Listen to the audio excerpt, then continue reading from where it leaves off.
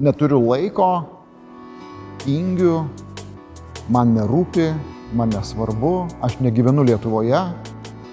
Galima sugalvoti milijoną priežasčių, dėl kurių neiti balsuoti. Bet yra viena priežastis, viena, dėl kurios verta tai padaryti. Tai yra ateitis mūsų visų. Mūsų artimųjų, mūsų draugų, mūsų vaikų, tėvų, mūsų Lietuvos. Balsavimui registruokitės nuo Liepos 1. Tai padaryti labai paprasta ir užims vos kelias minutės. Nesvarbu, kur bebūtume. Mes, piliečiai,